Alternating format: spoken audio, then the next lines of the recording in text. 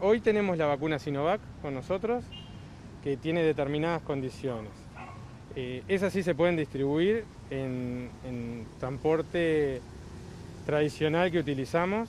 En este caso, eh, lo que nosotros pudimos ver, que no somos técnicos en el asunto, es eh, van en una ladera, llevan una temperatura controlada, el tiempo de traslado a los 16 puntos que salimos hace un rato es muy corto, y no vamos a tener ningún problema. El interior lo vamos a realizar en la noche de hoy, a partir de la una, en la madrugada del día sábado, este, con unidades eh, nuestras, unas 10, que, recorrerán unos 6.000 kilómetros. Tenemos planificado arribar a todos los departamentos antes de mediodía.